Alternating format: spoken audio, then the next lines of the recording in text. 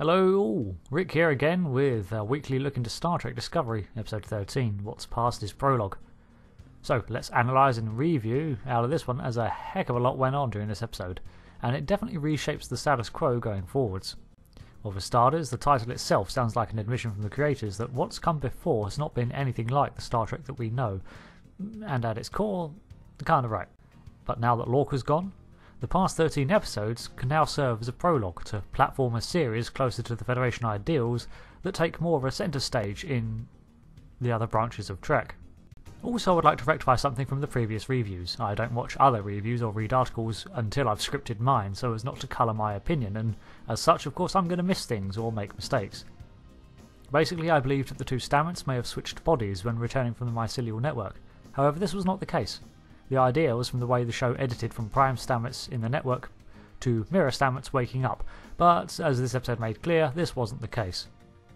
Which was just as well, I think, as I described the potential switch as confusing with everything seemingly building to the head. It would have been another rogue element to introduce so late on. So apologies for that. Anyway, after a one year and 212 days of Terran punishment, Lorca's followers were set free, and suddenly Gabriel Lorca has gone from prisoner at the Empire's mercy to being on the Emperor's doorstep with a small army, while she is still distracted dealing with Burnham.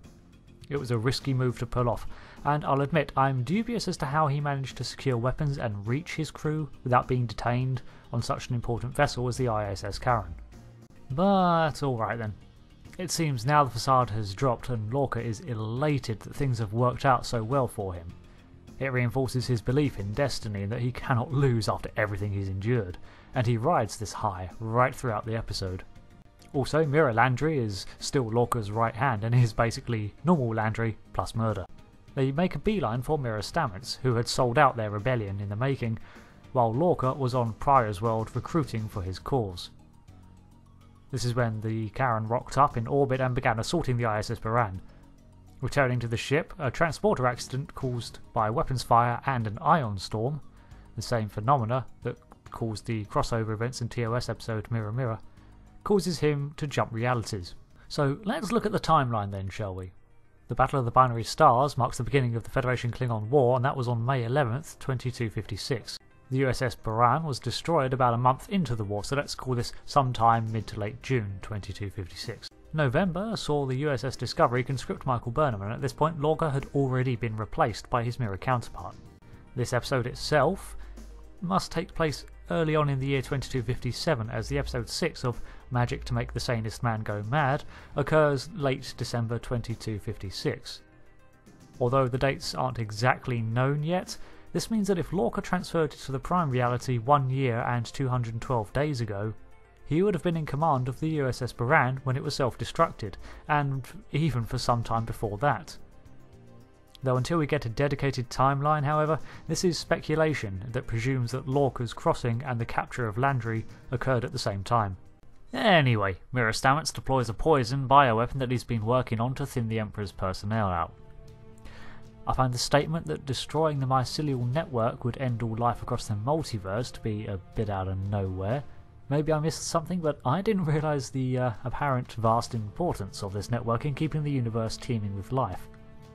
Not quite sure I buy it either, but from a narrative standpoint, the stakes were already high enough without the whole save the universe angle.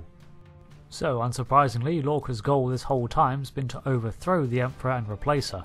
And on a tangent here, I love the clash of various cultures that the Terran Empire encapsulates, with grand Roman style titles, but then the themes and look of sort of a China's imperial dynasty, but referring to the fatherland with obvious Nazi like connotations. It's just a cool blend of lots of human imperial slash dictatorship facets, all rolled into one.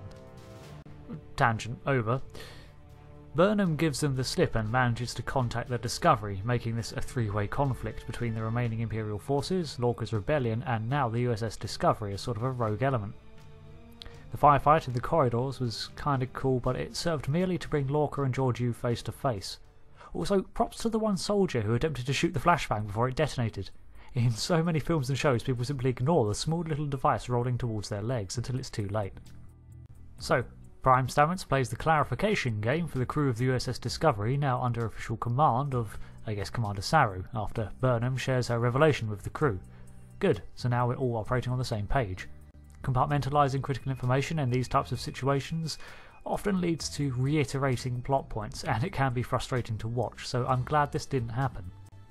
Turns out that the giant orb that the Charon is hugging is a mycelial nexus of like harnessed spore energy, and it's protected by a containment shield. But a direct spore laden torpedo hit should start a chain reaction that could destroy the flying city. Next, you'll tell me the shield is being projected from a nearby forest moon of Endor, and that the Discovery will have to fly through the Charon to get a clear shot at it. Ah.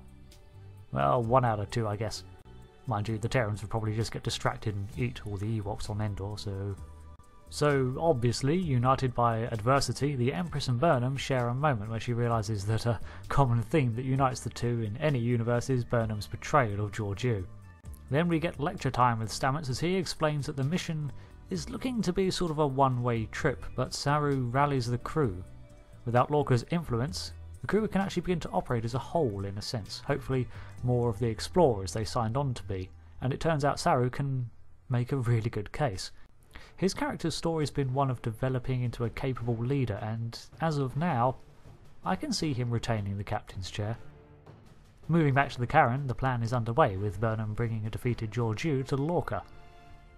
Literally the same ploy she was just using to get to the Charon in the first place, with Lorca. Hmm, fool me once? The whole one-way trip angle doesn't last very long as Tilly and Stamets realise they can harness the spore explosion of the Charon to gather enough energy to jump home. It'll be tricky, but they can do it. The conversation between Lorca and the Discovery crew is great, and it encapsulates the Terran view of the United Federation of Planets perfectly. He's proud of the soldiers he has forged, but he admits they would never be of high enough grade to make a truly effective killing machine, as they've been corrupted by Federation ideals. Now he's discarding them for something better. However, the strongest steel is always a blend of materials. And with Federation values, a strong moral core honed by a Terran captain's constant training, the only thing they lacked was trust. Now they seem to have found that in each other. Well, this sounds like a very strong alloy to me. Then we get the second most awesome sci-fi throne room fight scene that I've seen this year, as the setup pays off. One quick criticism, however, does the Charon not have shields, or is it that the spore-powered torpedoes are so powerful that shields just aren't effective? Anyway, during the fight scenes where Georgiou kicks ass, hey, you have Michelle Yeoh, you might as well use her. Landry is actually cut down by Lorca as she tries to kill Burnham. Wow, Lorca really has gone a bit delusional, hasn't he? He still thinks that even after all this, that things are going to work out for him. After all, he is destined to rule, and therefore Burnham is destined to be by his side again. The look on his face as he gets wrecked from behind says it all. He wasn't angry, he didn't even seem in too much pain, just confused. He escaped the Empire, crossed universes, found his lover alive in another dimension, commanded a vessel and made his way back to continue his coup.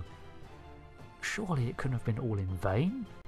I knew from the minute we saw that hatch open that someone was going through it. Yeah, that's a good shot. I wanted to use that as the thumbnail, but that's just way too spoilery and Black Alert as we watch some awesome piloting skills with some amazing external camera work. And boom! They destroy the Charon and they go to warp. Oh hell, that is a big explosion. It is literally travelling faster than light as they try to outrun its leading edge. Oh my god, then they spore jump at warp and... Oh, that was totally awesome!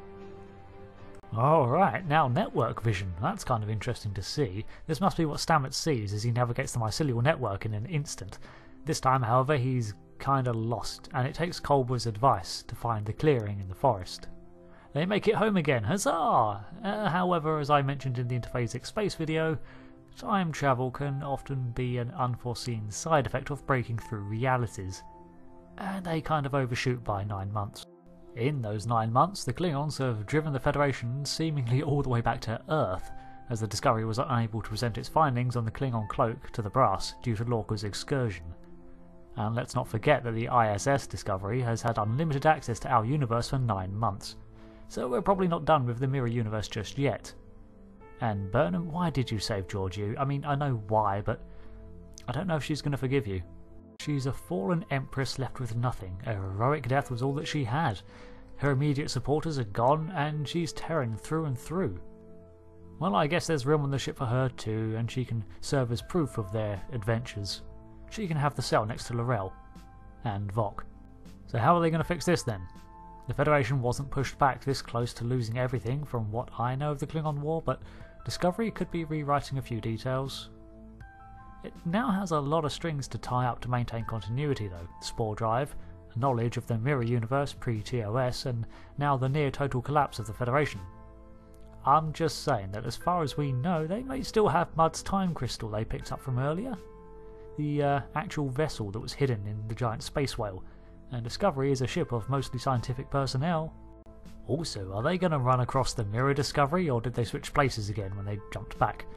And yes, what was with that little green spore that landed on Tilly's shoulder? Hmm? Things are afoot, methinks. Or a shoulder, in this case.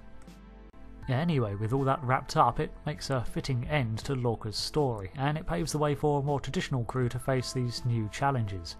Of course, things still look to be dire, so I don't expect a sudden 180 into happy, campy 60 sci fi fun. I'm just saying that perhaps we can get to see some more development from the other characters who so far seem to have played bigger roles as their Terran doppelgangers.